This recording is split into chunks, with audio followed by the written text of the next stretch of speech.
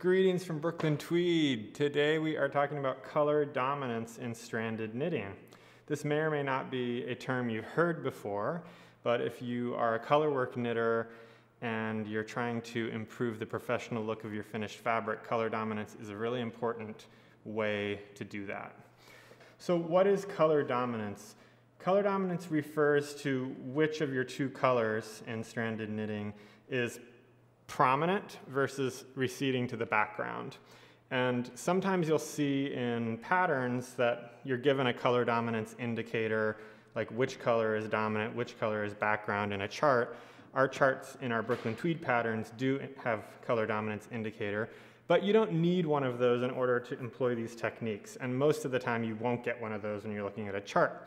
So I kind of want to start by talking about how do you decide what is a dominant color and what is a background color? And those are the two terms we're going to be using to talk about this today. So whenever I'm looking at a motif, I have two different motifs here. Let's look at this one here. And I was assessing this pattern. This is a colorwork yoke sweater swatch. And I would say which of these two colors is dominant and which is the background. Sometimes it's really easy to tell. In this case, this lighter color, the white color, is like line work drawn over a dark background. So one trick that I like to do if I'm wondering, oh, which is the dominant color or not, is if someone handed you a blank piece of paper and a Sharpie, and they said, draw this pattern, what is it that you're actually gonna be drawing? I would draw these diamonds.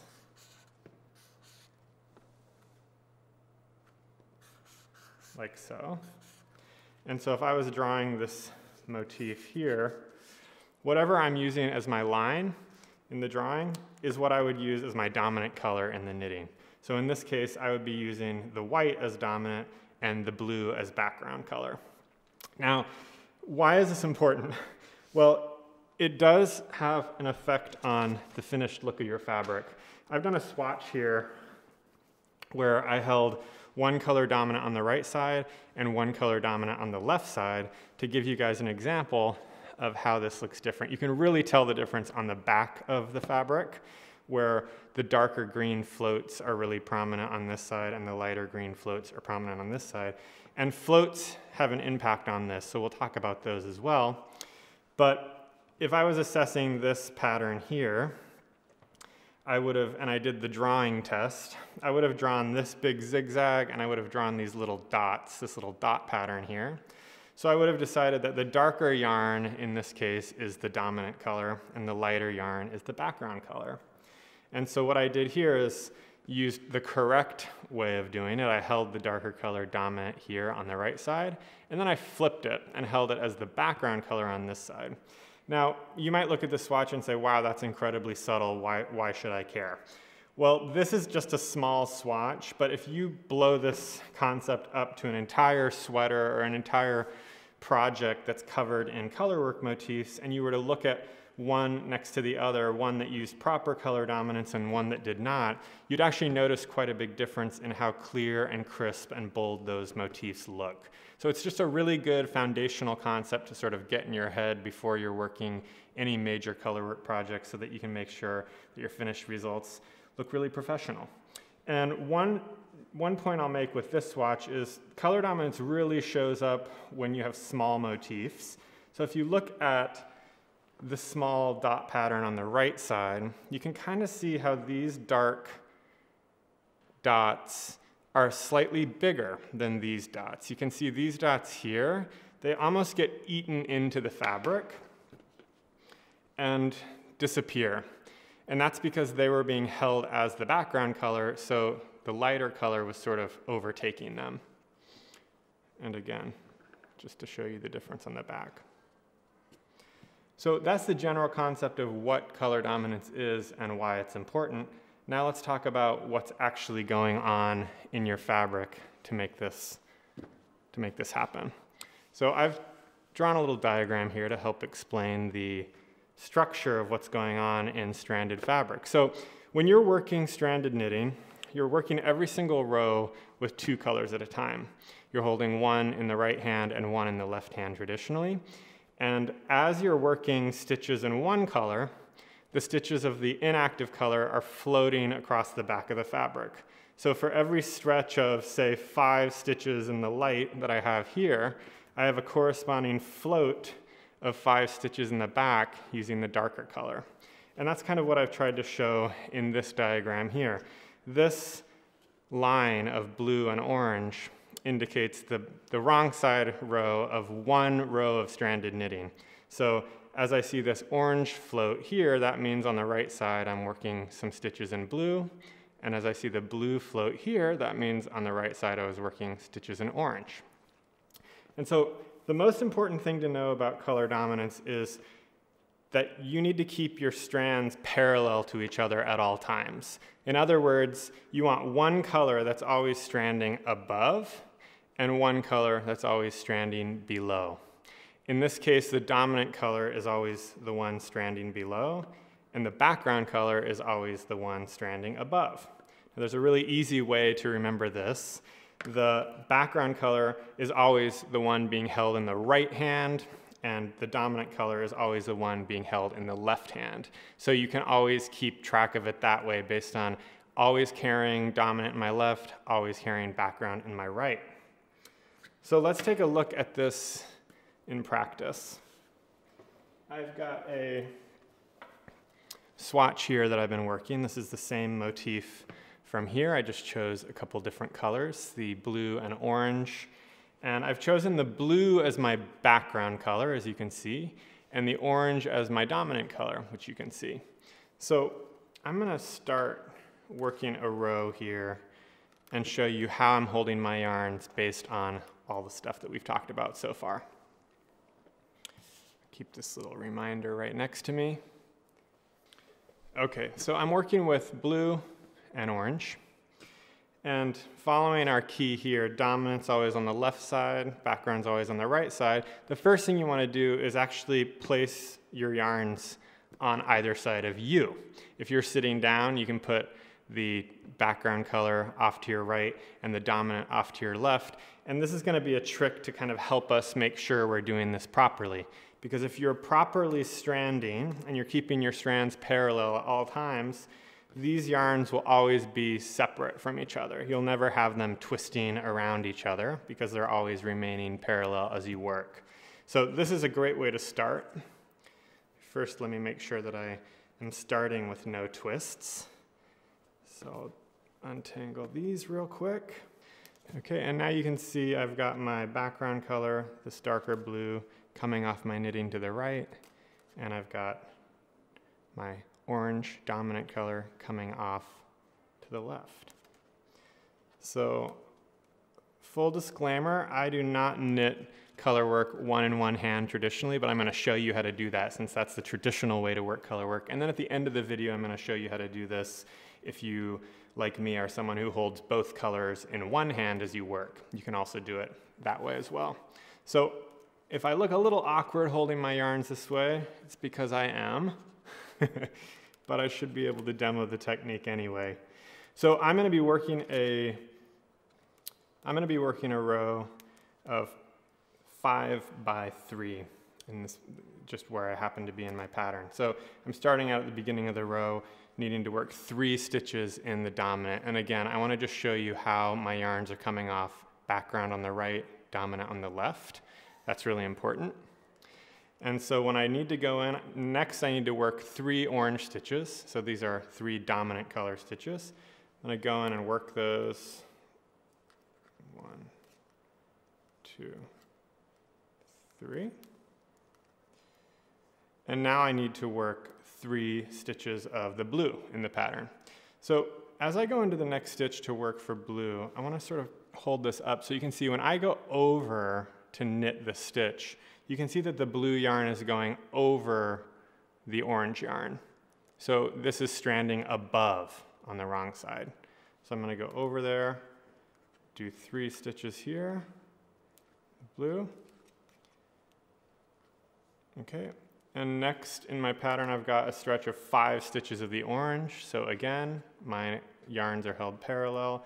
I'm gonna be going in and grabbing the orange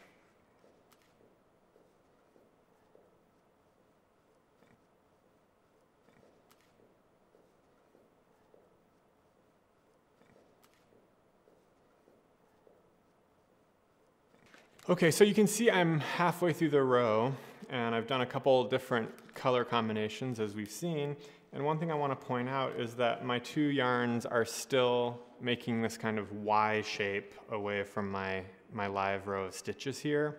If I was to set my yarn down at any point in the project and I saw that there were some twists in my yarn, meaning before they split out, they were twisting around each other. For every single twist you see, that would have been one time where I improperly floated, meaning the one that was supposed to go above accidentally went below, and so on and so forth. So checking your yarn like this is a nice trick to kind of check your work and see how, how good your form is in terms of maintaining color dominance as you work. And if you've made a few twists, no big deal. It's just one way to make sure that you're staying on track. So you could undo those, make sure your, your yarns are separate again, and then continue working across your row and sort of maintaining that check. So background color, I'm working three stitches of background with my right hand, and then I've got five stitches of dominant with my left hand.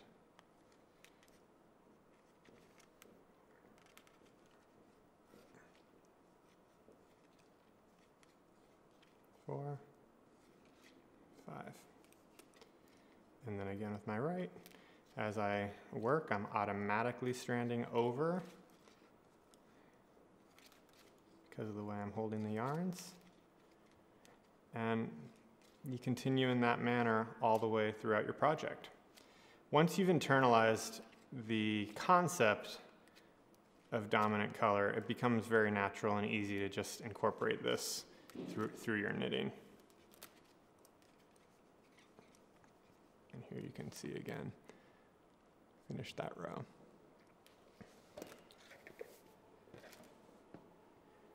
So to bring back our original swatch, a couple things I'll point out now that we've done this technique in practice.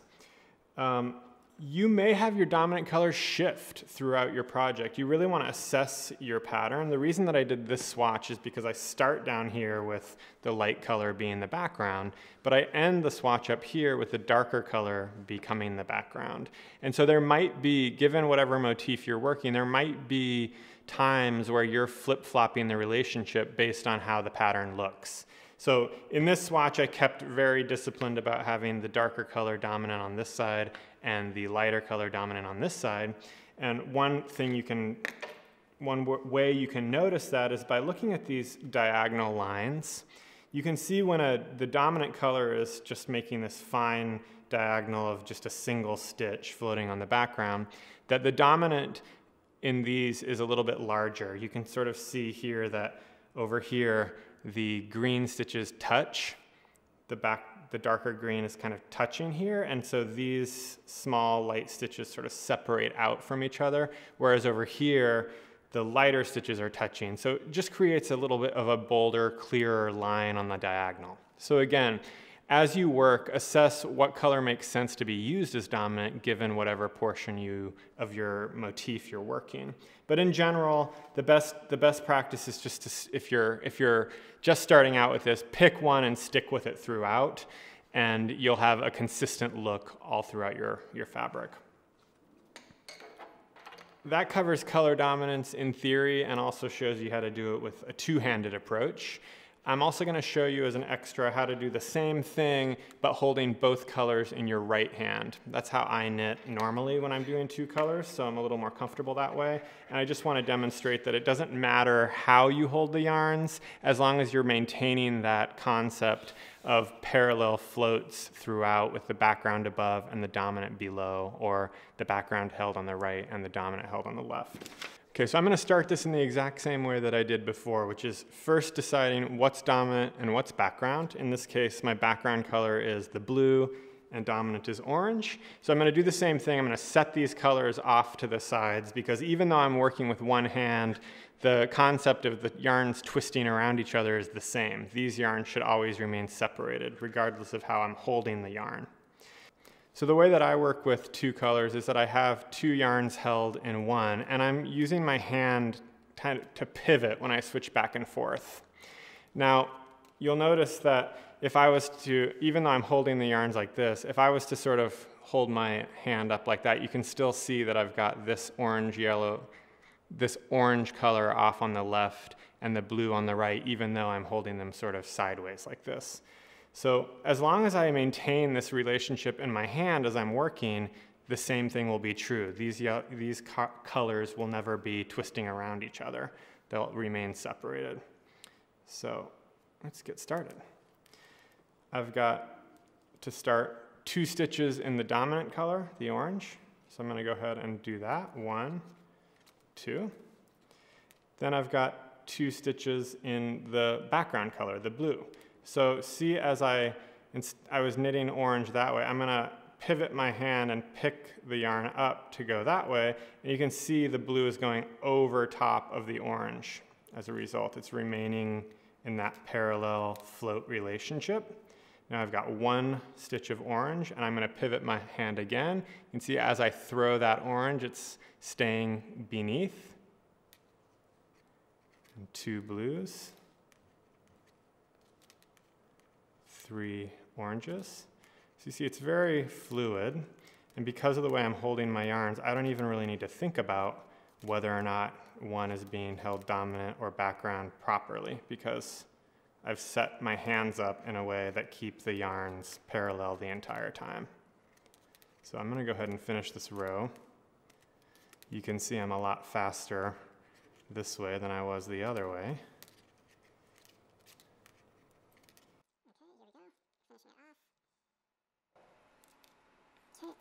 And as I drop the yarn, look at that. My two colors are still parallel with no twists. So I remained one above and one stranding below the whole time.